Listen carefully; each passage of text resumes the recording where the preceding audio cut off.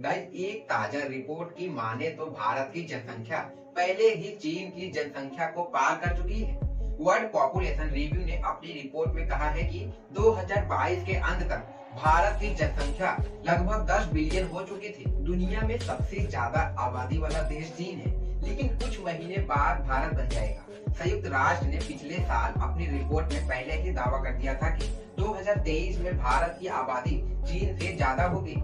हालाँकि कुछ रिपोर्ट्स में दावा किया जा रहा है कि भारत की आबादी चीन से ज़्यादा हो चुकी है। भारत के केंद्रीय स्वास्थ्य मंत्रालय की ताज़ा रिपोर्ट बताती है कि 2021-2022 में साल भर में 2.3 लाख करोड़ से ज़्यादा बच्चों का जन्म हुआ। यानी हर दिन एवरेज छप्पन हज़ार बच्चे पैदा हुए। इससे पहले साल 2020-21 में दो करोड़ से कुछ ज़्यादा बच्चों का जन्म हुआ था। इसका मतलब ये हुआ कि 2020-2021 की तुलना में 2021-2022 में एक दशमलव बत्तीस लाख ज़्यादा बच्चों का जन्म हुआ है। ये रिपोर्ट देखकर आप क्या कहेंगे, इसके बारे में कमेंट सेक्शन में ज़रूर लिखिए चैनल को लाइक शेयर सब्सक्राइब ज़रूर कीजिए।